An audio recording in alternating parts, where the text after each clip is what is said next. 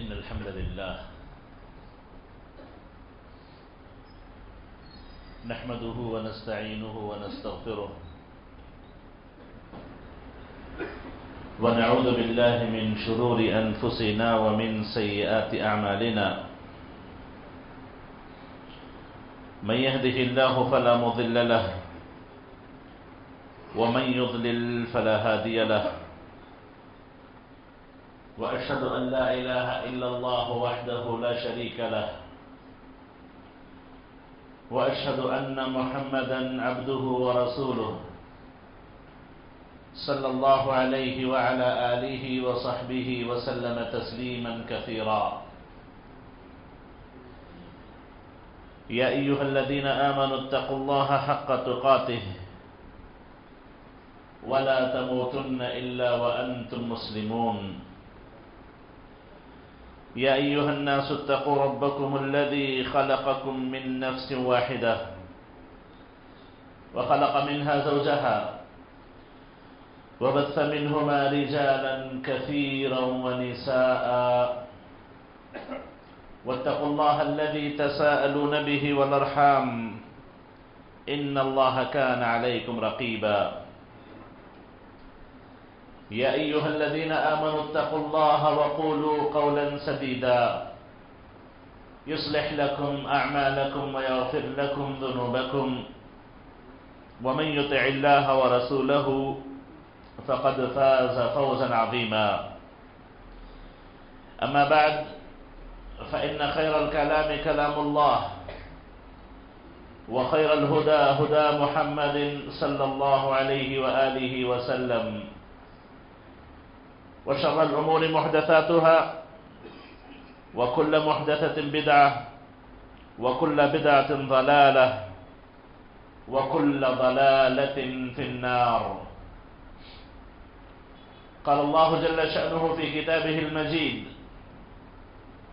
إن عدة الشهور عند الله اثنا عشر شهرا في كتاب الله يوم خلق السماوات والأرض منها أربعة حرم ذلك الدين القيم. فلا تظلموا فيهن أنفسكم.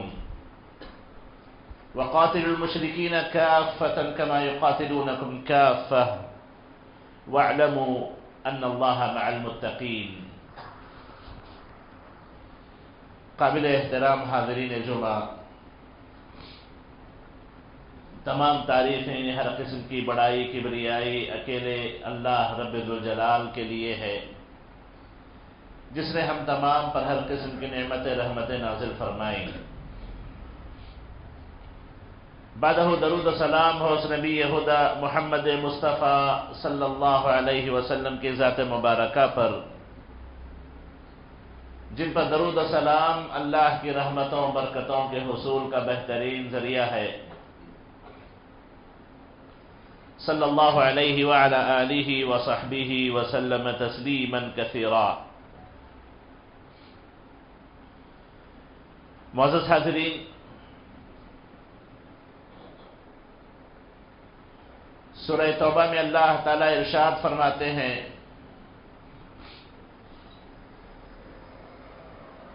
جب سے اللہ تعالی نے آسمان و زمین کو پیدا کیا،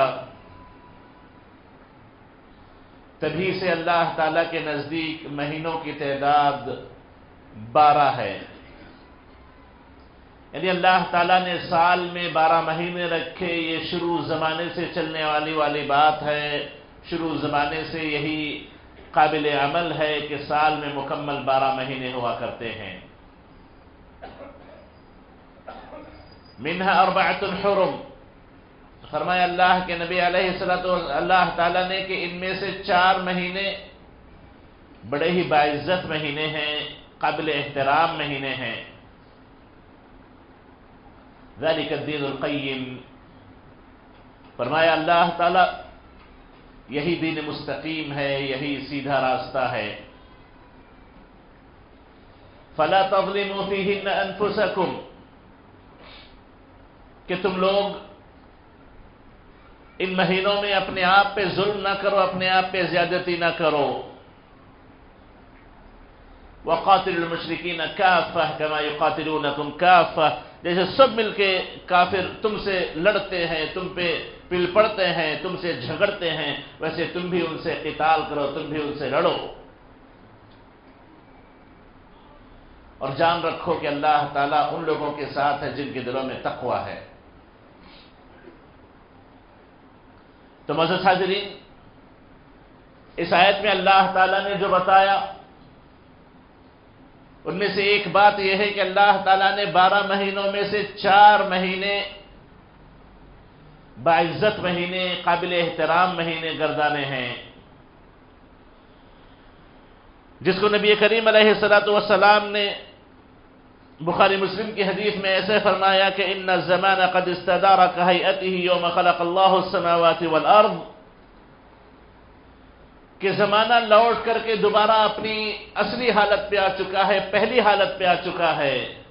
یعنی اللہ کے نبی جب مبعوث کیے گئے، نبی بنا کر بھیجے گئے، تو اس وقت سے لے کر کے زمانہ چلتے چلتے اللہ کے نبی کے زمانے میں دوبارہ اپنی پہلی حالت پہ آ گیا، جس پر اللہ نے آسمان و زمین کو پیدا کیا تھا۔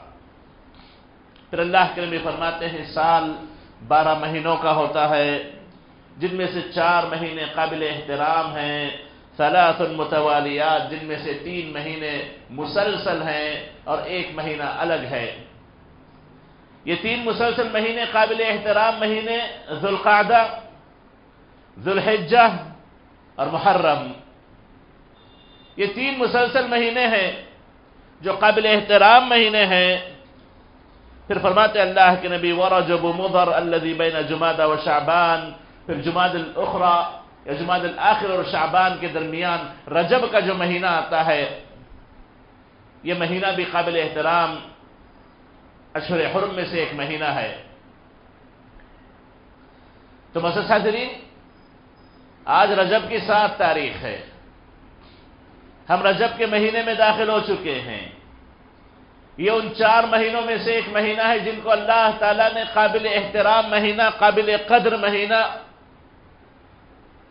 اور قابل عزت مہینہ قرار دیا ہے تو عام مہینوں کے مقابلے میں ان چار مہینوں میں بندوں کو احتیاط کرنی چاہیے، نیکیوں کے کام کرنے چاہیے، برائیوں سے اپنے آپ کو بچانے کی کوشش کرنی چاہیے۔ اللہ تعالیٰ فرماتے ہیں، فلا تظلموا فیہن انفسکم کہ تم لوگ ان میں اپنے آپ پہ ظلم نہ کرو۔ یہ رجب کا مہینہ نبی کریم علیہ السلام والسلام کے رسول بنائے جانے سے پہلے ہی کفار قریش کے درمیان بڑا ہی باعزت مہینہ تھا۔ اس کا وہ احترام کیا کرتے تھے اور اس مہینے میں جنگ کرنے سے پرہیز کرتے، لڑائی جھگڑے نہیں کیا کرتے، اپنے آپ کو نیکیوں میں لگایا کرتے، برائیوں سے دور رکھا کرتے تھے۔ اس مہینے کا کافی وہ احترام کیا کرتے تھے۔ جب اسلام آیا تو اسلام نے اس مہینے کی تعظیم اور بڑھا دی۔ اس مہینے کی حرمت کو باقی رکھا۔ اس مہینے کی حرمت کو باقی رکھا۔ اس کے عزت و احترام میں اور اللہ نے زیادتی کی، شریعت نے زیادتی کی۔ جیسا کہ اس حدیث میں اللہ کے نبی فرماتے ہیں کہ چار مہینے باعزت مہینے ہیں، ان میں سے ایک رجب والا مہینہ ہے۔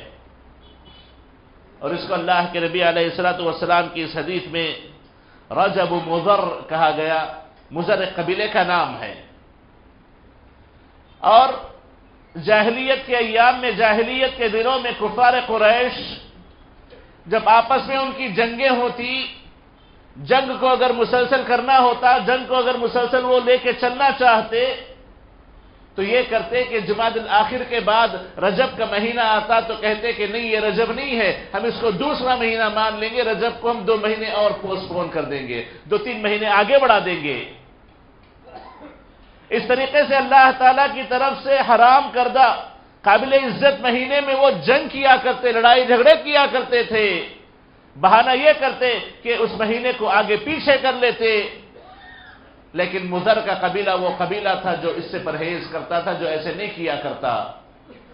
مضر کا قبیلہ اس سے پرہیز کیا کرتا تھا۔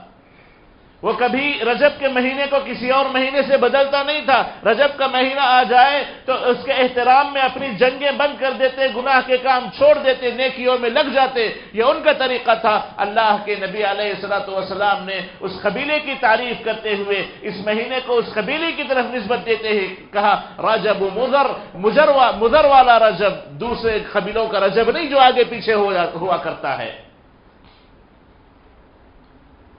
تو معزز حاضرین؟ رجب کا نام رجب اس لیے پڑھا کہ عربی زبان میں ترجیب کا معنی ہوتا ہے تعظیم، عزت کرنا، احترام کرنا، مقام دینا۔ تو اہل جاہلیت اس کا خاص طور پر اہتمام کیا کرتے تھے۔ اس وجہ سے رجب کے مہینے کو رجب نام دیا گیا، قابل تعظیم، قابل احترام مہینہ۔ بس اتنا ضرور ہے کہ یہ مہینہ ان چار مہینوں میں سے ایک ہے جو اللہ کے نزدیک قابل احترام ہے۔ ذوالقادہ ذوالحجہ، محرم یعنی اسلام کا گیارہواں، بارہواں مہینہ اور پہلا مہینہ محرم۔ ہجری تاریخ محرم سے شروع ہوتی ہے۔ ہجری سال محرم سے شروع ہوتا ہے۔ محرم کا پہلا مہینہ اور گیارہواں، بارہواں مہینہ ذوالقادہ اور ذوالحجہ، یہ تین مہینے اور ساتھ میں رجب چار مہینے قابل احترام ہیں، قابل عزت ہیں۔ احادیث میں اتنا ہی ثابت ہے۔ اس سے بڑھ کر کے اور کوئی ثبوت نہیں ملتا۔ اس سے بڑھ کر کے اس کے احترام میں کوئی روزہ رکھا جائے، کوئی نماز پڑھی جائے، کوئی نیکی کی جائے، کوئی صدقہ خیرات کیا جائے، اس مہینے میں عمرہ کیا جائے، اس مہینے میں کوئی اور خیر کے کام کیے جائیں ایسی کوئی حدیث، ایسا کوئی عمل نبی کریم علیہ السلط والسلام سے کسی بھی صحیح حدیث سے ثابت نہیں ہے۔ ہاں ایک عمل کا ثبوت کسی حد تک ملتا ہے، لیکن اس کا تعلق رجب کے مہینے سے نہیں ہے۔ اہل جاہلیت اپنی زندگی میں، اپنے بتوں کے نام پر رجب کے مہینے میں عطیرہ کے نام سے قربانی کیا کرتے تھے۔ فرع اور عطیرہ۔ یہ کچھ قربانیاں بھی جو ان کے بتوں کے نام پہ ہوا کرتی تھی فرا کہتے ہیں اس قربانی کو کہ اگر جیسے کسی بندے کے پاس اونٹ ہیں، جانور ہیں، سب سے پہلا بچہ جو پیدا ہوتا اول نتاج الابل، وہ اٹھا کر کے اپنے بتوں پر چڑھاوے کے طور پر چڑھا دیا کرتے تھے۔ اللہ کے نبی نے اس فرع سے منع کر دیا، کہا لا فرع فرع کا اسلام سے کوئی تصور ہی نہیں ہے۔ اور کسی پہلے بچے کو بتوں کے نام پہ چڑھنا اسلام سے اس کا کوئی تعلق نہیں ہے۔ اور دوسری قربانی عطیرے کے نام پہ وہ لوگ رجب کے مہینے میں خاص طور پہ کیا کرتے تھے۔ باعزت مہینہ ہے۔ باعزت مہینے میں وہ عطیرہ رجبیہ، جس کو رجبیہ بھی کہا جاتا ہے۔ اللہ کے نام پر کوئی قربان کرتا، کبھی کوئی بتوں کے نام پہ چڑھایا کرتا۔ جاہلیت میں عام طور پر رجب کے مہینے میں بتوں کے نام پر عطیرہ نام کی قربانی کیا کرتے تھے۔ تو نبی کریم علیہ السلام والسلام نے اس سے بھی روک دیا، کہا کہ اگر کرنا ہو قربانی کرو، لیکن اللہ کے نام پہ کرو، بتوں کے نام پہ نہ کرو۔ اور کسی بھی مہینے میں کرو، رجب کے مہینے کے ساتھ خاص نہ کرو۔ تو موسم حاضری رجب کے ساتھ کوئی بھی عبادت، کوئی قربانی، کوئی روزہ، کوئی زکات کوئی صدقہ، احادیث سے کہیں اس کا کوئی ثبوت نہیں ملتا۔ یقیناً یہ قابل احترام مہینہ ہے اور اس کے احترام کی اللہ تعالیٰ نے خاص طور پر تاکید کی ہے، کہا، فلا تظلموا فیہن انفسکم کہ اس مہینے میں تم اپنے آپ پہ ظلم نہ کرو، اپنے آپ پہ ظلم نہ کرو۔ اور معزز حاضرین، اپنے آپ پہ ظلم کیسے ہوتا ہے؟ اپنے آپ پہ ظلم اللہ کی نافرمانیاں کر کے، اپنے آپ پہ ظلم اللہ کے فرض کردہ مسائل کو چھوڑ کر کے، اللہ کے فرائض کو ترک کر کے۔ اپنے آپ پہ ظلم، شریعت کی مخالفت کر کے ان تمام ظلموں سے بچنے کی نبی کریم علیہ السلط والسلام نے تاکید کی۔ اللہ تعالیٰ نے حکم فرمایا، لا تظلموا فیہن انفسکم۔ مسلمانوں کو اس مہینے میں دوسرے آٹھ مہینوں کے مقابلے زیادہ اہتمام کرنا چاہیے۔ گناہوں سے بچنے میں، اپنے آپ پر ظلم کرنے میں، کسی اور پر ظلم کرنے میں، کسی اور کا مال کھانے میں، یا کسی بھی طریقے سے کسی پر بھی کسی قسم کا ظلم یا اپنے آپ پر کسی قسم کا ظلم، ان تمام سے ایک مسلمان کو پرہیز کرنا چاہیے، بچنا چاہیے، کیونکہ اللہ تعالیٰ نے ان چار مہینوں میں خاص طور پر، خاص طور پر اپنے آپ پر ظلم کرنے سے بڑی تاکید کی ہے کہ بندہ اس سے بچے پرہیز کرے۔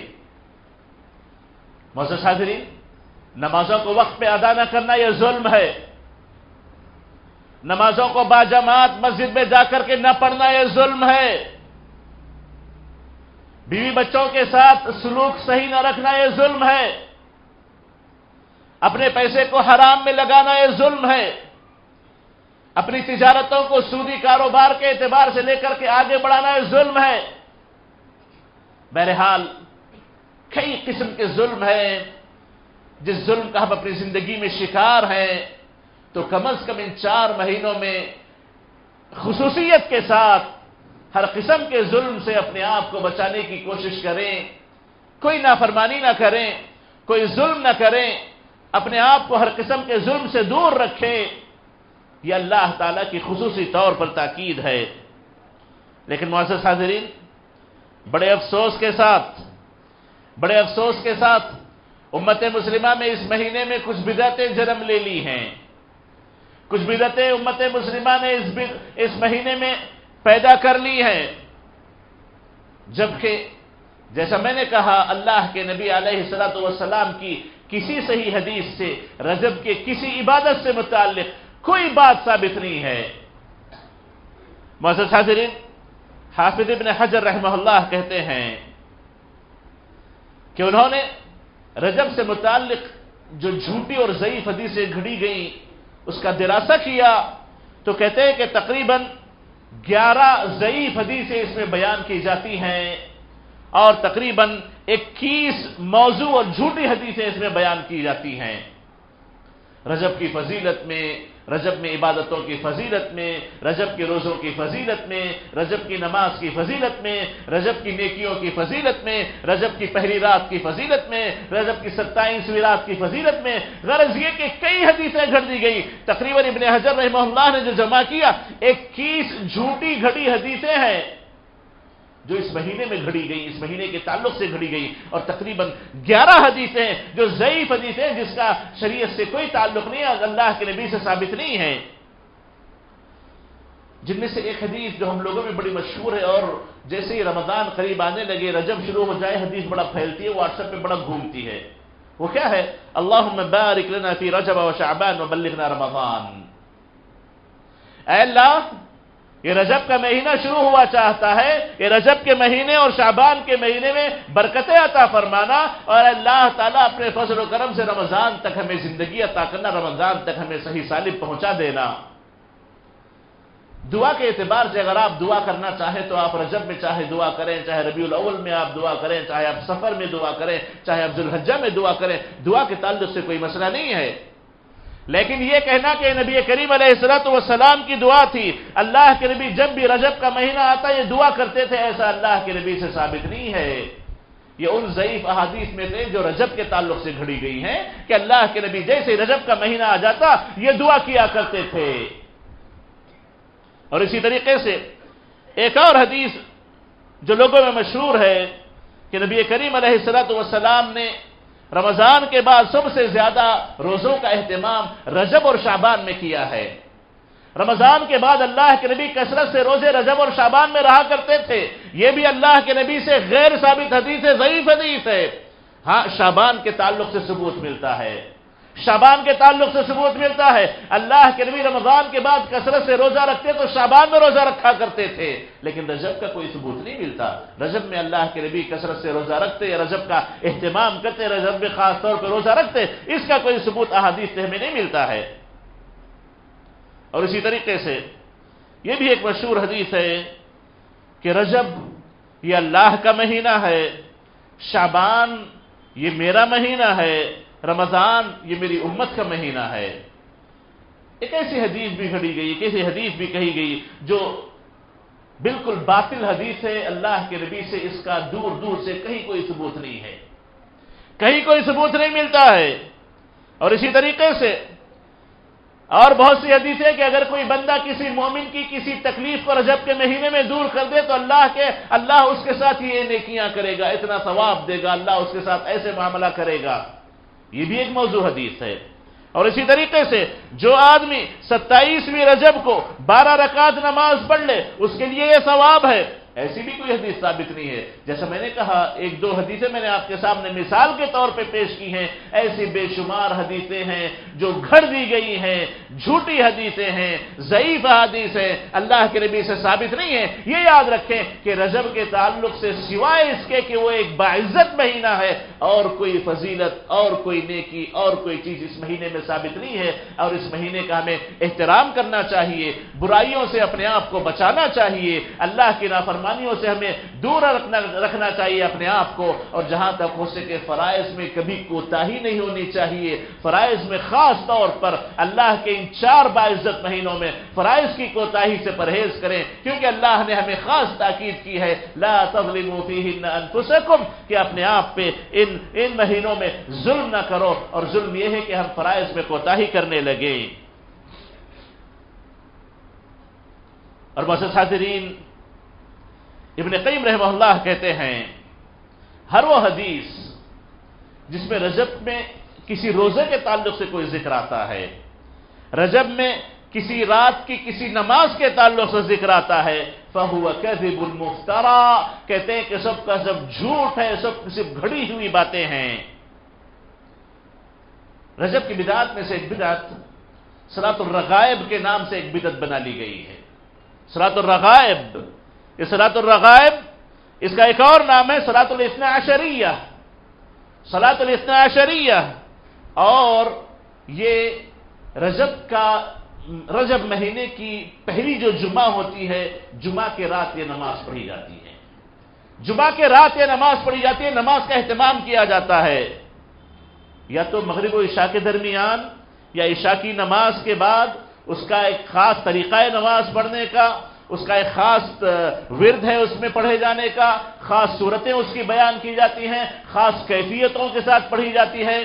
معزز حاضرین، ایسا کوئی عمل نبی کریم علیہ السلاۃ والسلام سے، صحابہ کرام سے ایسا کوئی ثابت نہیں ہے۔ علامہ شیخ الاسلام ابن تیمیہ رحمہ اللہ کہتے ہیں وہ اما سلاۃ الرغائب فلا اصل لها، بل ہی محدثہ یہ رغائب والی نماز جو لوگوں نے بنا لی ہے سلاۃ الرغائب کا کوئی اصل ثابت نہیں ہے، کوئی بنیاد ثابت نہیں ہے، کچھ ثابت ہے ہی نہیں، بلکہ نئی پیدا کی گئی چیز ہے۔ نہ اس کو جماعت سے پڑھا جانا چاہیے، نہ اس کو اکیلے اکیلے پڑھنا چاہیے، بلکہ صحیح مسلم میں نبی کریم علیہ السلاۃ والسلام سے یہ بات ثابت ہے کہ جمعہ کی رات کو تم کبھی کسی نماز کے ساتھ خاص نہ کرو، اور رجب میں ان لوگوں نے جمعہ کی رات کو سلاۃ الرغائب کے ساتھ خاص کر کے اللہ کے نبی کی سریح مخالفت کی ہے۔ جو کہ دین میں بدعت ہے، اللہ کی نافرمانی ہے۔ اور اللہ تعالیٰ کہتے ہیں اللہ تظلم انفسکم، کہ ان مہینوں میں اپنے آپ پہ ظلم نہ کرو۔ لیکن بدعتیوں نے، اسلام دشمنوں نے سرات الرغائب کے نام پر بدعت کو ایجاد کر کے اللہ کے حکام کی مخالفت مسلمانوں سے کروائی ہے، جس کی لوگ نہ جان کر کے انجانے میں مخالفت کرتے جاتے ہیں۔ اور اسی طریقے سے ایک اور نماز جو اس میں بڑھا لی گئی، معراج کی رات والی نماز۔ لوگوں میں یہ مشہور ہے کہ ستائیس رجب کو معراج ہوئی تھی۔ ستائیس رجب کو معراج ہوئی تھی۔ نبی کریم علیہ السلاۃ وسلام کو آسمانوں کی سیر، جنت و جہنم کی سیر کرائی گئی، بیت المقدس لے جایا گیا۔ نبیوں کے اللہ کے نبی نے امامت کی۔ یہ ستائیسویں رجب کو ہوا۔ ایسے لوگوں میں مشہور ہے جبکہ نبی کریم علیہ السلط والسلام سے کسی بھی حدیث میں اور نہ ہی صحابہ کا کوئی قول ہے، نہ ہی صحابہ نے کہا ہے کہ کس تاریخ کو، کس رات کو، کس مہینے میں اللہ کے نبی علیہ السلط والسلام کی اسرا و معراج کرائی گئی، اس کا کہیں کوئی ثبوت نہیں ملتا ہے۔ یہ بات سچ ہے۔ کہ نبی کریم علیہ السلاۃ والسلام پر جو انعامات کیے گئے، ان میں سے ایک بڑا انعام اسراء و معراج کا ہے۔ اللہ کے نبی علیہ السلاۃ والسلام جب پریشان حال تھے، آپ کے چچا کا انتقال ہو گیا، آپ کی چہیتی بیوی خدیجہ رضی اللہ عنہ کا انتقال ہو گیا، آپ پریشان ہو کر کے مشرقوں کی تکلیف سے مشرقوں کے ظلم سے طائف پہنچے، وہاں جا کر کے دعوت دی۔ طائف کے لوگوں نے آپ سے بس سلوکی کی، طائف کے لوگوں نے اوباشوں کو آپ کے پیچھے لگا دیا۔ جو آپ پر پتھر برسانے لگے، وہاں سے ناکام نبی کریم علیہ السلط والسلام لوٹے، اللہ کے نبی علیہ السلط والسلام کو خود اپنے شہر میں کسی اور آدمی متعم ابن عدی کی پناہ میں داخل ہونا پڑا۔ بڑے پریشان حال تھے، بڑے پریشان حال تھے۔ تو ایسے حالت میں اللہ تعالیٰ نے اللہ کے نبی کو تسلی دلانے کے لیے، اللہ کے نبی کو اپنے مشن میں کامیاب کرانے کے لیے اسلام و معراج کروائی۔ ایک ہی رات میں رات میں صبح ہونے سے پہلے بیت المقدس کی سیر کرائی، ساتوں آسمانوں کی سیر کرائی، جنت و جہنم کی سیر کرائی۔ یہ بالکل حق ہے، اللہ کے نبی علیہ السلط والسلام نے یہ کوئی خواب نہیں دیکھا، بلکہ اللہ کے نبی علیہ السلام والسلام کو باقاعدہ معراج کرائی گئی، باقاعدہ بیت المقدس لے جایا گیا، یہ اللہ کا اللہ کے نبی احسان تھا. لیکن اس کو اللہ نے کسی عبادت سے جوڑنا نہیں چاہا. اللہ کے نبی نے اس دن کو کوئی خاص تہوار کا دن منانا نہیں چاہا۔ اگر چاہتے تو اللہ کے نبی خود اس کا احترام کرتے، خود اس دن تہوار مناتے، صحابہ سے کوئی ثبوت ملتا، تابعین طب تابعین کرتے، لیکن کہیں پر کوئی ثبوت نہیں ہے کہ کسی صحابی نے معراج والی رات کو کوئی خاص اہتمام کیا ہو۔ تو موسط حاضرین، اس دن بھی لوگوں نے ایک رات، اس دن بھی لوگوں نے ایک نماز رکھ لی۔ اس دن بھی لوگ ستائیسویں رات کو خاص طور پر رات میں نماز کا اہتمام کرتے ہیں۔ خود ہمارے اپنے ہندوستان میں بڑی مشہور چیز ہے جس کا کہیں کوئی ثبوت نہیں ملتا۔ ذرا غور کریں، جس مہینے میں اللہ نے ظلم کرنے سے منع کیا، بڑے افسوس کے ساتھ مسلمان اپنے آپ پر، اپنے دین پر ظلم کا شکار ہیں۔ تو معزز حاضرین علم حاصل کرنے کی کوشش کریں، سنتوں کو پہچاننے کی کوشش کریں۔ نبی کریم علیہ السلط والسلام کے اعمال کو، اللہ کے نبی کی محبت کو شریعت کے میزان میں رکھ کر اس کو تولیں اور شریعت کے دائرے میں اللہ کے نبی کی محبت کو رکھیں۔ سنتوں کی، سنتوں کے شوق کو شریعت کے دائرے میں رکھیں۔ تبھی جا کر ہم اپنے آپ کو ظلم سے بچا سکتے ہیں، ورنہ شیطان انسان کو وہیں سے گمراہ کرتا ہے۔ جہاں اس کا بڑا شوق ہو، جہاں اس کی بڑی خواہش ہو، جہاں اس کی بڑی محنتیں ہوں، وہیں سے شیطان اس کو دو قدم آگے نکال کر غلو کا شکار کرا دیتا ہے یا اس کو شریعت کے دائرے سے کچھ آگے نکال دیتا ہے۔ اللہ تعالیٰ سے دعا ہے کہ اللہ تعالیٰ اس بابرکت اور باعزت مہینے کے احترام کے ہمیں توفیق نصیب فرمائے اور ہر قسم کی اللہ کی نافرمانیوں سے ہمیں محفوظ رکھے اور اللہ تعالیٰ ہر قسم کے ظلم سے ہم تمام کی حفاظت فرمائے۔ آمین۔ اقول قولی هذا واستغفر الله لي ولكم ولسائر المسلمين من كل ذنب فاستغفروه انه هو الغفور الرحيم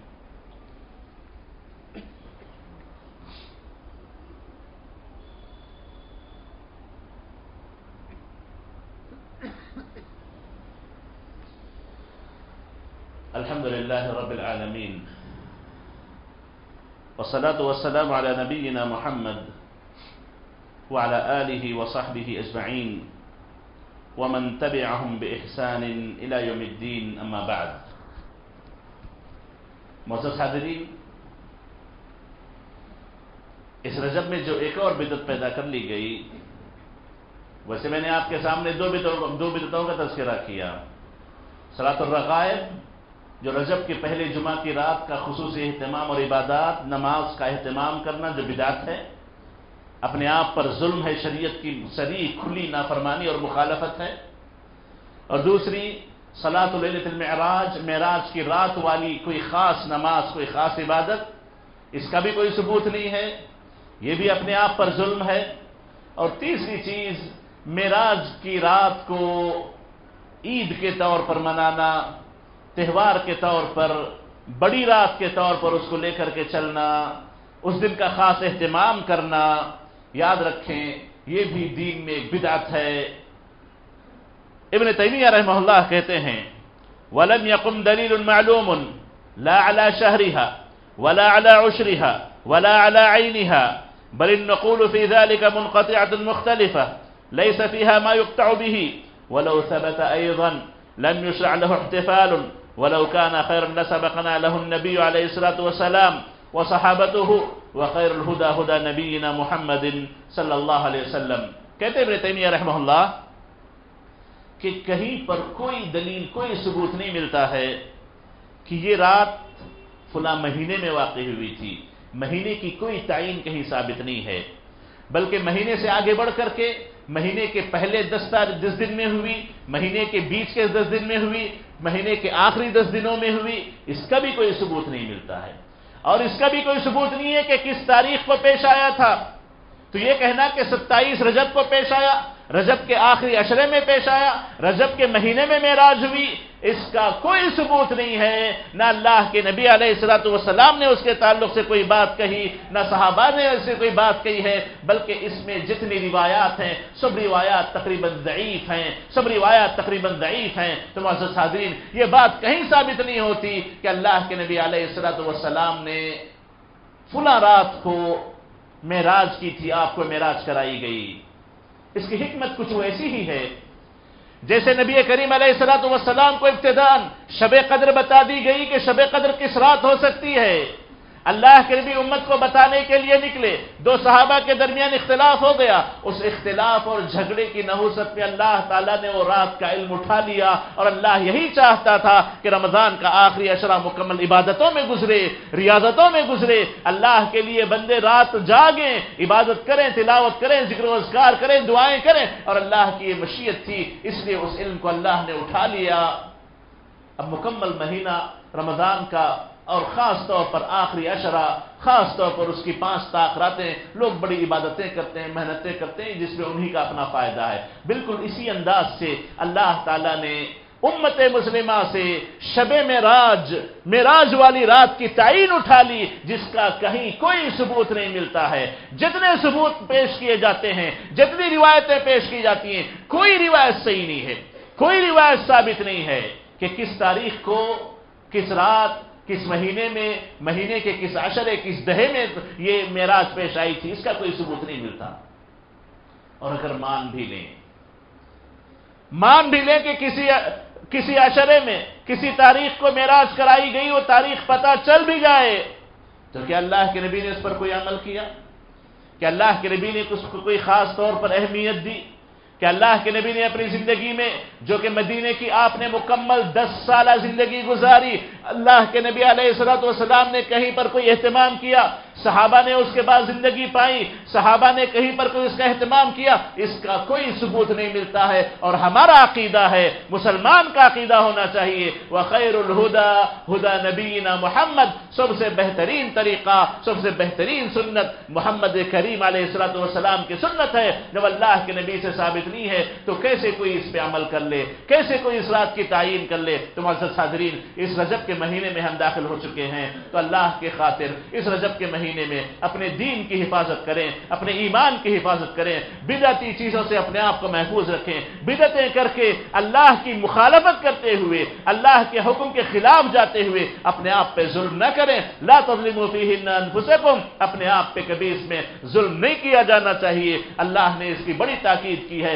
تو معزز حاضرین، اللہ سے دعا کریں کہ اللہ تعالی ہمیں اس کے نبی کی سنتوں کو پہچاننے، اس کے دین کو پہچاننے کی توفیق نصیب فرمائے۔ اللہ تعالی ہمیں ہر قسم کے ظلم سے محفوظ رکھے۔ اور معزز حاضرین، جیسا کہ ابھی رجب میں ہم داخل ہو چکے ہیں، دیکھتے دیکھتے رجب جائے گا شابان آئے گا۔ شابان کے فوری بعد رمضان کا مہینہ ہے۔ رمضان کی اپنی برکتیں ہیں، رمضان کی اپنی رحمتیں ہیں۔ معزز حاضرین، اس کی تیاری کریں، اس کی تیاری میں لگیں۔ نفسیاتی طور پر اپنی ڈیوٹی کے اعتبار سے، اپنے کالجز کے اعتبار سے، خاص طور پر کس طریقے سے اس میں اللہ کی عبادتیں کر کے اپنے زندگی بھر کے گناہوں کو دھویا جا سکتا ہے، اس کی کوشش کریں۔ اور ساتھ ہی ساتھ، چونکہ اس مسجد کا مسئلہ ہے، مسجد کی تعمیر کا مسئلہ ہے، تو کوشش اس بات کی کریں کہ رمضان سے پہلے کم از کم آپ تمام لوگوں کے لیے مسجد کا کچھ ایسا انتظام ہو جائے کہ جس میں سکون سے عبادتیں ہو سکیں تراوی ہو سکے، اور اعتکاف کرنے والے اعتکاف کو بیٹھ سکیں۔ اور اللہ تعالیٰ کچھ ایسا انتظام کروا دے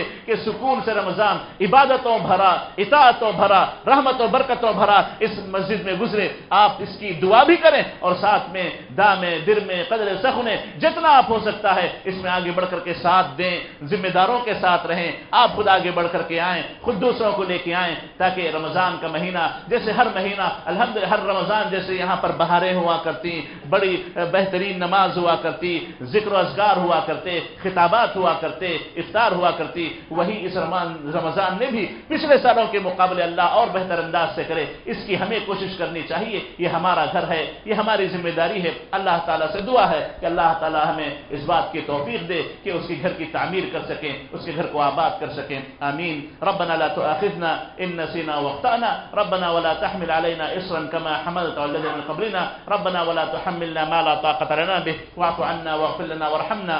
أنت مولانا فانصرنا على القوم الكافرين. ربنا آتنا في الدنيا حسنة وفي الآخرة حسنة وقنا عذاب النار.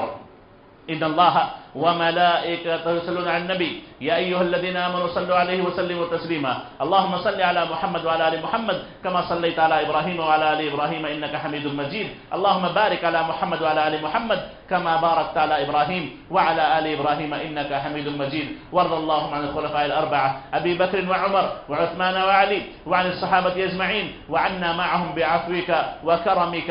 يا أكرم الأكرمين إن الله يأمر بالعدل والإحسان وإيتاء ذي القربى وينهى عن الفحشاء والمنكر والبغي يعظكم لعلكم تذكرون. اذكروا الله يذكركم واشكروه على نعمه يزدكم ولذكر الله أكبر. والله يعلم ما تصنعون.